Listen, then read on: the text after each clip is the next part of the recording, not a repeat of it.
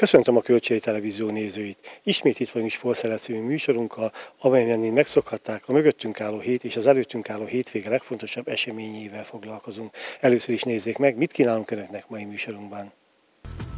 Hat érmet szereztek a leveleki tavon a magyar jazzki versenyzők. Új vezetőedző Tímár Krisztián irányításával készül a Spari. A már hagyományos családi nappal zárta az idényt a Nyikse. A díjátadó ünnepséggel ért véget a Nyíregyházi Városi Kispályás Bajnokság. Hat érmet szereztek a magyar versenyzők a leveleken megrendezett jetski Európa bajnoki futamon és junior világbajnoki futamon. A legeredményesebbnek a nyíregyházi Jászai Csongor bizonyult, aki az egyik kategóriában az élen végzett, a másikban pedig a második helyet szerezte meg. Well, they are all focusing on the tower. They can see two, now they can see one, and the rubber band went off. 20 nemzet versenyzői jöttek el erre az Európa bajnokságra, ami problémát okozott, hogy előző héten Szardinia szigetén Olaszországban volt a világbajnokság első versenye. És azért ott néhányan, akik ott ütköztek, gépük tönkrement, meg, meg egyéb problémákkal küzdöttek, ők már nem jöttek el, tehát ez nagyon hát nehéz logisztikai feladat volt számukra, hogy akkor még onnan ugye kompal visszajönni a szárazföldre, onnan akkor ide Magyarországra eljönni, tehát nem jött el mindenki, akire számítottunk, de 20 nemzetversenyző itt vannak.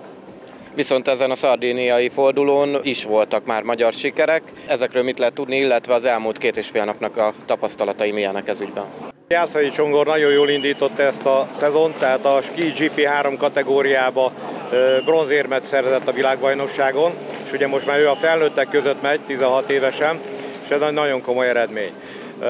Ott egy ausztrál versenyző hát meglepetést okozott, tehát ugye volt egy kvázi egy belőtt dolog, hogy akkor Csongor valahol ott a második hely környékén lehet, az európai mezőnyben, aztán egy ausztrál versenyző azért oda befért a második helyre, így aztán Csongor leszorult a harmadik helyre, de ez is egy nagyon szép eredmény, tehát így ö, kezdtünk neki ennek a mostani Európa bajnokságnak, illetőleg hát ott hetedik helyen végzett ugyanebbe a kategóriába ö, Süli Csaba, illetőleg Kassa György a Ranabol GP1 kategóriába. És ugye Jászai Csongor még a mai nap délutánján is jó esélyekkel lép vízre.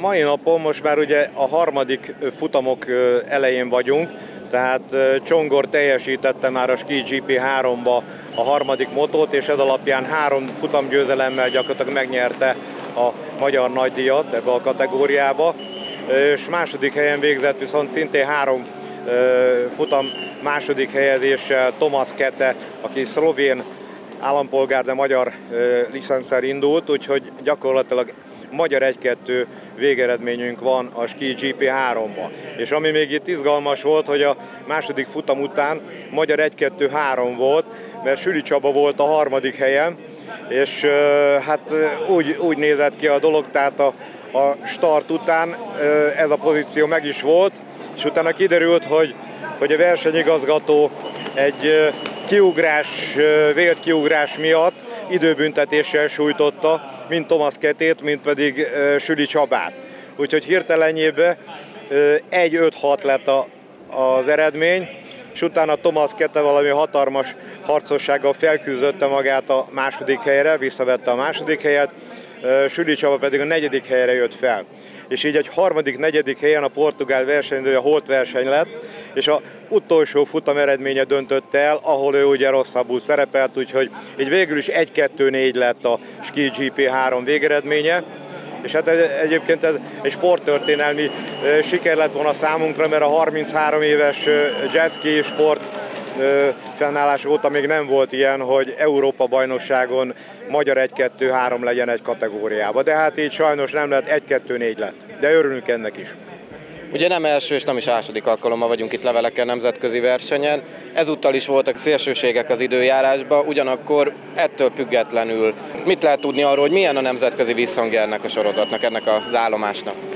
Hát mindenképpen pozitív. Én azt gondolom, hogy hogy a versenyzők is érzékelik azt, hogy foglalkozunk velük, hogy odafigyelünk rájuk. Tehát az a magyaros vendégszeretet az megvan a részünkről.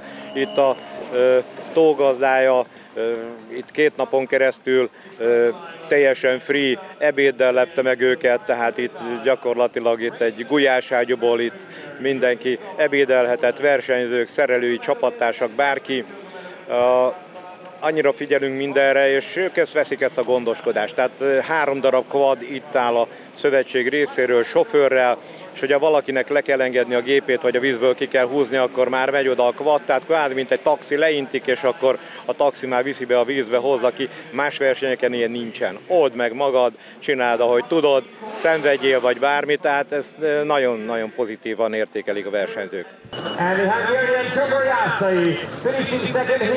Újra leveleken került sor Európa bajnoki futamra. Idén milyen célokkal, milyen kategóriákban vágtál neki a versenynek, illetve milyen eredményekkel? Ski GP3 és GP2-es kategóriában indultam, a GP3-as kategóriát azt meg akartam nyerni, ott az volt a cél. GP2-es az egy belépő kategória volt számomra, először versenyeztem ebbe a kategóriában egy nagyobb, rangosabb eseményen. Ott a dobogót céloztam meg, cél, céloztam meg, de szerencsére mindkettőt sikerült elérnem. Úgy a GP3-ast ezt mind a három futamot meg tudtam nyerni. A GP2-ben volt egy, egy csata a második helyére egy észt versenytársammal, de egy nagyon jó rajtal előrébb tudtam kerülni a versenyen, és ezt a pozíciót meg tudtam őrizni egészen a verseny végéig, úgyhogy emiatt ott is sikerült ezt a második helyet bebiztosítani. Beszéljünk is egy kicsit erről a futamról, erről a néhány perccel ezelőtti futamról. Ugye ott egy elsőkörös előzésed volt, mesélj egy kicsit erről. Úgy voltam vele a rajtnál, hogy igazából próbáltam minél jobban a kötélre fókuszálni, és éreztem azt, hogy jó, ennek már lassan el kell menni, úgyhogy lehúztam a gázt, és elment a kötél, úgyhogy nagyon tényleg egy, az eddig, eddig egyik legjobb rajtomat vettem, és le tudtam zárni az, e, a mellettem lévő versenyzőnek, és igazából onnantól kezdve a második helyre én jöttem ki, és tudtam tartani ezt a pozíciót. Még az egy első körben megtámadott egy, a portugál versenytársam, de azt a támadást ki tudtam védekezni, így emiatt utána meg kicsit le is maradt, úgyhogy így tudtam folyamatosan üldözni az előttem lévő olasz versenyzőt, aki egy top pilóta ebben a kategóriában, de sajnos őt nem sikerült elkapni, de majd jövőre. Ugye ez a GP2 kategória számodra új kategória, mi az, amit tudtál tanulni az idáig? Ez idáig, hogy ezért teljesen más. Tehát a GP3-as kategória egy sokkal jobban kezelhetőbb, egy, egy könnyebb jetski, én azt még jelenleg jobban is élvezem, de ez a GP2-es kategória erősebb, itt azért jobban kell, ezért fizikálisabb ez a kategória, és inkább az, az jön ki, hogy ki mennyire bírja, meg ki mennyire tudja ezt az erős jetskit megfogni, Úgyhogy én úgy gondolom, hogy itt ezt meg tudtam tanulni, hogy azért ez nem ugyanaz a ö, erőség, de viszont szerintem a GP3-as kategória, és én szerintem az egyik legszínvonalasabb verseny, és azt nagyon, tehát ez egy tényleg egy top kategória, mert ott nagyon sok versenyző van, és mindenféle ö, tudású, és idős, tehát korban is teljesen mindegy, hogy hány éves vagy. Ugyanúgy a 40 fölött is jól tud versenyezni benne, meg a 16-17 éves versenyzés jól tud versenyezni benne. Úgyhogy ezért Szeretem még jobban a GP3-as kategóriát, mint a GP2-es, de egyértelmű cél, majd a csúcs kategória a GP1. A leveleki pálya karaktere hogy tetszett?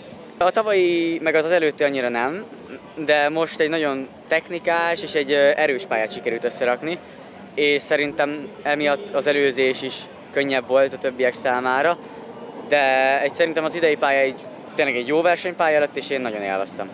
És ugye Litvániában folytatódik, illetve zárul majd az Európa-bajnokság, hogyan készülsz? Igazából ugyanúgy, mint eddig. Folyamatosan fizikai munka, erőléti edzésekkel, két, ugye két hét múlva lesz, annyira nincs sok időnk, de hogyha ezt a formát tudom hozni, akkor azzal meg leszek elégedve. Új vezetőedző Tímár Krisztián irányításával készül a bajnoki rajta a Nyíregyháza Spartakusz. A játékos keret folyamatosan alakul, eddig hat távozó és hét érkező futballistát jelentett be a klub megpróbáljuk megértetni azt, hogy, azt, hogy sokkal keményebben kell dolgozni, mint eddig. Nagyon, nagyon jó a, a fogadtatása tényleg próbáljuk őket a lehető legkeményebben felkészíteni arra, hogy jó erőben várják, vagy jó erőben tudjuk kezdeni a felkészülést. Túl vagyunk egy edzőmérkőzésen, nyilván volt fáradtság, de nagyon sok minden visszaköszönt, amit szerettem látni, főleg felfogásban, mentalitásban,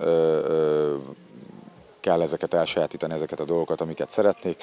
Gondolok itt a letámadásra, gondolok itt a visszatámadásra, de labdával is, főleg az első félidőben elég szép támadásokat vezettünk, sajnos sok helyzet kimaradt, ezen még nyilván szeretnénk változtatni, ezt csiszolni kell, de bízom benne, hogyha keményen dolgozunk tovább, akkor ebben lesz fejlődés. Ahogy ilyenkor lenni szokott, mennek játékosok, jönnek játékosok, gyakorlatilag lehet azt mondani, hogy új csapatot kell építeni számodra mindenképp, hiszen most érkeztél kicsit át, át lesz alakítva a keret, van egy vérfrissítés szerintem, ami ilyenkor egy ilyen tavalyi szereplés után azért ez, ez benne van a levegőben. Én igazából próbálom a szakvéleményt mögé adni, ugye itt a, a sportigazgató úr hozza meg ezeket a döntéseket, hogy kit hozzunk, de sok mindenben, szinte mindenben kikéri a véleményemet szakmai szempontból, szóval harmonikus a közös munka ebből, ebből a szempontból egyelőre, és reméljük, hogy egy jó erős keretet tudunk összerakni, aki, aki versenyképes lesz, és tudja azokat a célokat hozni, hogy ilyen ne forduljon elő Nyíregyházán, mint ami a tavalyi szezonban volt. Az elmúlt években a szakemberek szerint folyamatosan fejlődik a másodosztályi bajnokság. Van még idő a rajt, de mégis most milyen bajnokságra lehet számítani, hogy ott vannak az NB1-es késők, és mindig van két-három csapat, amelyik megcélozza a feljutást. A rendszer átalakításával is ugye egy, egy, egy keményebb bajnokságra van kilátás, mert ugye négy csapat esik ki hátul, ezáltal ugye kevesebb, kevesebb csapat is van a bajnokságban. Hát nyilván egy nagyon kemény bajnokság, egy kiélezett, nagyon sokáig, nagyon sokáig közel álló csapatok, közel vannak egymáshoz a csapatok, és szűk lesz a mezőny, szóval itt kiegyenlített lesz. Ebben kell ugye nekünk egy olyan stabil, stabil csapatot összerakni, aki bárki ellen idegenben, hazai pályán versenyképes tud lenni, és, és győzelem esélyekkel lép pályára. Mikor lesz végleges a játékos keret? Ezen dolgozunk, ezt nehéz megmondani, ezen dolgozunk folyamatosan. Bízom benne, hogy én e, szakmai szempontból azt szeretném, hogy minél hamarabb, de hát nyilván itt vannak más dolgok is a háttérben, hogy, hogy kivel hogy sikerül megegyezni. Próbáljuk a lehető legjobb megoldást megtalálni, és remélem bízunk benne, hogy minél hamarabb. Csősz Rihárd, Szerető Krisztofer, Szokol Zsolt, Hegedűs Lajos, Pantovics Nikola és Papucsák Barda távozott. Kölcsönből visszatért Hamed Yasin. Tamás Olivér Paksról, Herjenszki Kristóf Gyirmótról, Bese Balázs Szentlőrincről, Alakszai Áron Csákváról, Jaskó Mihajkó pedig Kecskemétről érkezett Nyíregyházára. Visszatérőnek számít a több mint száz élvonalbeli meccsen rendelkező, legutóbb a Pécset erősítő Kesztyűs Barna. A tavalyi év az lement, ahogy lement már mindenki előrefele néz, tehát azok is, akik ugye itt maradtak, azok is, akik újak. Igazából tényleg segíteni jöttem a, a csapatnak, tehát minél előrébb, előrébb szeretnénk végezni a tabellán. Tehát meccsről meccsre nézünk, napról napra nézünk előrefele, tehát nem nagy célokban gondolkodunk, hanem mindig a következő meccset szeretnénk igazából megnyerni. Neked egyénileg milyen volt az előző idény? Személy szerint jó, sokat játszottam, Kicsit több gólt vártam magamtól, ugye kettő, kettő sikerült, de a gólpassz az, az, az megvolt. Igazából ennyit tudok róla elmondani, mert sokat, sok időt töltöttem a pályán, voltak jó meccseim, voltak természetesen rosszabbak is, de hál' Istennek a jók voltak többségben. Korábban játszottál már Nyíregyházan, azóta eltelt egy kis idő. Mennyien voltak most ismerősök, mikor visszajöttél? Sok mindenkit ismerek, tehát mind a pályán, mind a pályán kívül. Tehát volt, akivel ugye még együtt játszottam annó, meg nagyon sok mindenkivel játszottam a pályán ugye ellenfélként, tehát igazából nem volt ismeretlen a közeg. Ugye a stábban is voltak olyanok, akikkel már dolgoztam együtt, ugye a Darabos Balázs, a Kemény Kristóf, tehát igazából nem ismeretlen közegbe csöppentem. Említetted, hogy kis lépésekben gondolkodtok, viszont minden bajnokság előtt a más nem a szurkolók, a felütás esélyes csapatok között tartják számon a Nyíregyházát, és hát látjuk, hogy mindig van egy-egy meglepetés együttes is. Picit azért hosszabb távra gondolom, mivel lennél elégedett. Igazából most én úgy érzem, hogy ez a bajnokság annyira kiegyenlített lesz, tehát nem tudnék most olyan csapatot mondani, mint esetleg tavaly ugye volt ugye az MTK meg a Diósgyőr, tehát nem tudnék most csapatot kiemelni, akire most azt mondanám, hogy, hogy a feljutás biztos, hogy meg lesz neki. Szerintem több csapat pályázik most arra az első két helyre. Én azt mondom, hogy a Spari is köztelhet, de tényleg nem szeretnék így ö, nagy, ö, nagyon előre bocsátkozni, tehát mondom, csináljuk mi a dolgunkat meccsről meccsre, de szerintem, hogyha a csapat az elsődbe vagy első hatba végezne, azzal, azzal elégedettek lennénk, de persze a feljutás lenne a legjobb, és mi ezen leszünk, hogy ez esetleg elérjük. A Spari pénteken az NB1-es mezőköveshez látogat, majd a jövő héten a Kazincbarcikával és a Karcaggal is játszik a csapat. A bajnoki főpróbát mezőkövesden tartja a Nyíregyháza, majd a nyitófordulóban július 30-án a Siófokot fogadja Tímár Krisztián együttese. A már hagyományos családi nappal zárt az idényt Nyikse. Az elmúlt hónapokról Balogh Béla elnökkel beszélgettünk.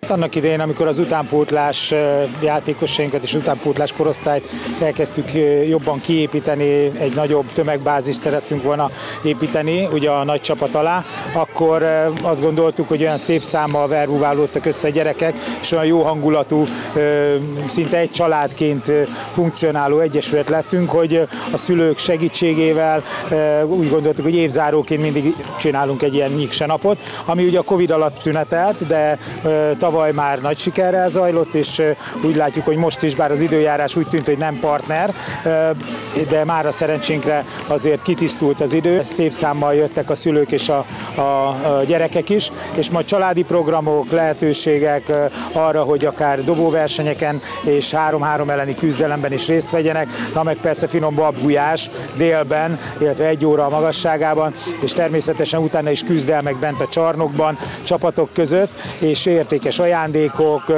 egészségügyi szűrések folyamatosan a folyosón is, úgyhogy ezekkel kedveskedtünk és köszöntük meg egyrészt a szülőknek is az egész éves áldozatkész segítő hozzáállásukat, munkájukat, na meg a gyerekeknek azt a kitűnő eredményt, amit elértek idén a Nyikse utánpótlás csapatai.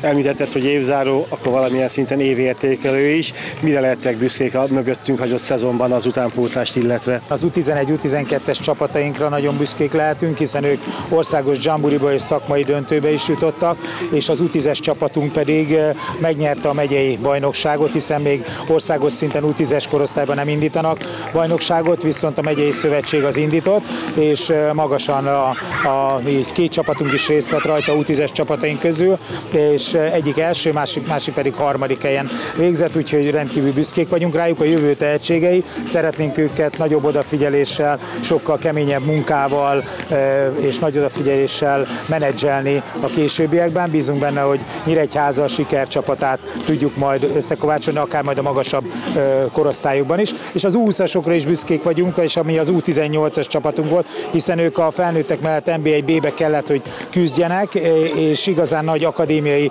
csapatokkal, meg felnőttekkel kellett viaskodniuk, úgyhogy szerintem ők is megérdemlik a gratulációt.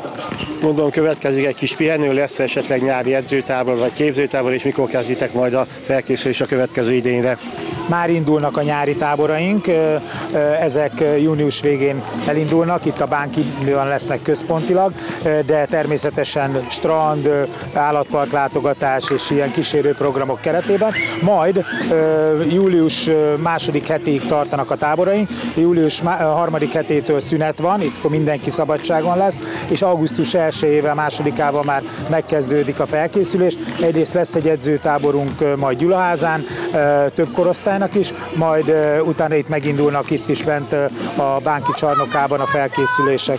Az évedző elismerést vehetted át, minek köszönheti ez a kitüntetés? Négy évvel ezelőtt hazatértem Nyíregyházal, és a Nyiksénél helyezkedtem el, Balogh Béla elnök hívott ide, és úgy érzem, hogy sikerült itt is megóstaljuk az, az elképzeléseket, nagyon sok tehetséges gyereket kiválogattunk, és elindultunk a különböző bajnokságokba.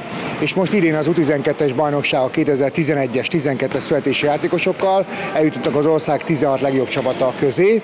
Egy úgynevezett szakmai tornát rendeztek ennek a korosztálynak, Sopronban voltunk, és talán is közel játszott ebben milyen merítési lehetőség van Nyikse számára? A bázisiskoláinak köszönhetően azért van egy fix gyereksereg, ahonnan a legügyesebbeket kiemelhetjük, de mindig jönnek a városból ügyes gyerekek, és, és törekszünk arra, hogy esetleg a barátjukat, rokonokat elhívjuk, és így egyre jobb csapataink alakulnak ki nem is azt kérdezem, hogy ugyanolyan ügyesek a gyerekek, mint 10-20 éve bár kérdezhetném, hiszen egészen más dologokkal foglalkoznak, mint mondjuk 20 évvel ezelőtt, de ugyanolyan lelkesek -e. Annak idén akár te fiadat tekintve, vagy a Jakabpolyák Búzs generáció tekintve egy kicsit könnyebb dolgom volt, mert sokkal könnyebb volt őket betelelni a tornaterembe. De úgy érzem, amikor már itt vannak a tornaterembe, és sikerül a telefonról és egyéb dolgokról leválasztani őket, akkor már lelkesen dolgoznak. Most is van elég ügyes gyerek, csak egy picit talán többet kell menni az ügyes gyerekek iránt, illetve egy picit máshogy kell velük foglalkozni, magányosabbak, mint mondjuk a 10-20 éve ezelőtt született gyerekek, és közösségé kell őket formálni az említett korosztályjal eh, hová futhattok ki, mik a célok a következő évre, évekre? Én szerintem nagyon tehetséges generáció, és ami nagyon fontos, hogy az alattérő generációk is egyre jobbak. Nagyon sok fiatal játékosom van, és a tobozás miatt az a létszám növekedik. Én úgy érzem, hogy akár azokat a szinteket is elérhetjük, mint a régi korosztályos nyíregyházi csapatok. Gyerekeknél kérdezem a motivációt, nagyon régen foglalkozol utánpótlás nevelése, neked honnan van még motiváció? Én nagyon sokat köszönhetek az első edzőmnek, Buskó Lászlónak, illetve Sali Józsefnek, aki elindított engem a pályán, és, és mindig jó tanácsokat láttak el. Hát amikor két ügyes gyerek összeverődik, akkor egy kosárlabda edző már azon gondolkodik, hogy hogy tud ebből junior bajnok csapatot, vagy nagyon jó felnőtt játékosot csinálni, és hál' Istennek mindig vannak ügyes gyerekek a kezem alatt, úgyhogy igazából a gyerekek is motiválnak engem, tehát nagyjából ez. Ahogy öregszem, egyre jobban szeretem a gyerekeket, és egyre tisztában látom ezt a pedagógiát is.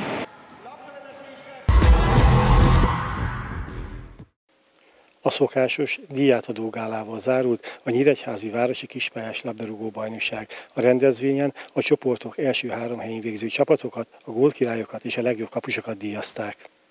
Fantasztikus éven vagyunk túl, hiszen 1200 mérkőzést játszottunk le a bajnokságba, még a olyan okok miatt is, hogy a stadioni beruházás zajlott, eléggé komoly kötéltáncot kellett néha járnunk, viszont az időjárás is többször megtrifált bennünket, volt, amikor 45-50 mérkőzés volt elmaradva az eső miatt, de ezeket is be tudtuk pótolni, hiszen van még egy kis műfűves pályánk is, aztán korábban, későbben visszakaptuk az ABC pályát is, tehát így gyakorlatilag június közepére be tudtuk fejezni a bajnokságot, és 14-én már a Superkupa döntőt is le tudtuk bonyolítani 12 csapattal. Mennyire voltak kiélezetek a küzdelmek a különböző csoportokban? Hát komoly verseny volt, hiszen az elmúlt időszakot figyelembe véve, több évet is áttekintve, mindig az volt a gyakorlat, hogy már hetekkel a bajnokság befejezés előtt eldőltek a csoportokba a helyezettek, vagy a bajnokok, vagy a kiesés eldőlt. Most viszont utolsó pillanatig várni kellett a bajnokokra, és ez azt jelenti, hogy egyre színvonalasabb a bajnokságunk. Ugye ebben a sorozatban benne van a téli terembajnokság is, most új helyszínen bonyolítottátok, milyen tapasztalatokkal? Igen, hát ez szenzációs volt. Jól éreztük magunkat egyébként az Ilona gimnázium bencsarnokában is korábban, hiszen ott voltunk hosszú éveken keresztül, vagy 7 éven keresztül ott játszottuk a e, terembajnokságot, de most e, Duaj László e, nyírpazony polgármestere segítőkezet nyújtott nekünk, akkor volt az energiaválság, úgy volt, hogy nem is lesz terembajnokság, végül is egy csodálatos sportcsarnokba, nyírpazonyba sikerült lebonyolítanunk, és 40 csapat szerepelt a tornán és vissza is fogunk térni, tehát ebben az évben is ott fogjuk lebonyolítani a terembajnokságot, és azok, akik a terembajnokságban szerepeltek, azok itt igazán jól szerepeltek a salakon is. Visszatérve akkor a szabadtérre, tavaly már volt olyan csapat, amelyik a nemzetközi porondon képviselte Nyíregyházi kisfelső bajnokságot. Ezen a nyáron mi a helyzet? A Rajábi és Fáraó Bútor vegyes csapata szerepelt Hajdúszoboszlóna az országos szuperkupa döntőn. Itt már nemzetközi megmérettetés volt, hiszen volt előtte is elejtező, ahol tovább jutott Kormány Zoltán csapata, és nagyon jó tapasztalatok voltak. Látták a minifutball Magyarországi Szövetségnek a vezetői, hogy milyen színvonalas bajnokság zajlik nálunk a Decathlon konyhaműben, Nyíregyházi Sportcentrum városi bajnokságba. Ezért olyan ajánlatot tettek, hogy a, a terembajnokság szuper döntőse, hát a szuper bajnok, az átcsoportnak a bajnoka és a második helyzetje, illetve az itteni szuperkupa győztes, a szabadtéri szuperkupa győztes, és az öregfiúk első osztályból, itt a John Bull korona nyert, a John Bull korona volt az első, az öregfiúk első osztályban ők részt vehetnek szintén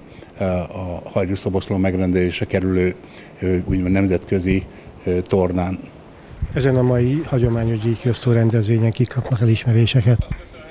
Itt a minden csoportnak a első három helyzetje van díjazva, és minden csoportnak van gólkirálya és legjobb kapusa, illetve a, a sajtót, támogatókat is megjutalmazzuk, megköszönjük nekik az egész éves segítséget, hiszen nélkülük ez nehezen működhetne ez a bajnokság, ami egyébként színvonalasan zajlott le.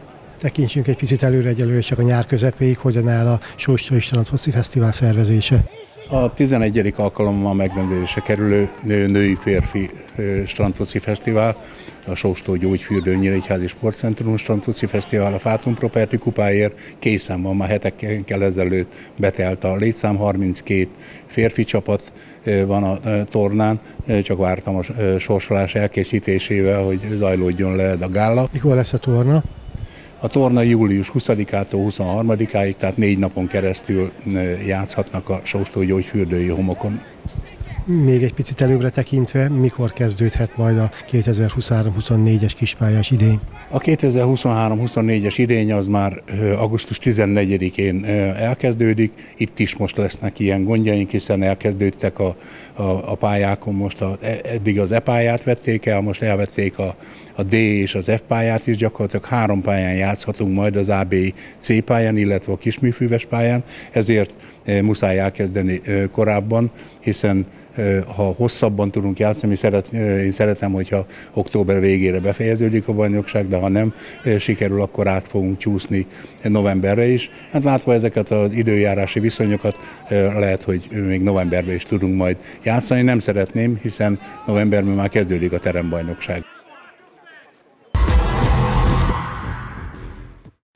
Ennyi féltem a mai sportszeletbe, köszönöm a figyelmüket, találkozunk egy hét múlva a viszontlátásra.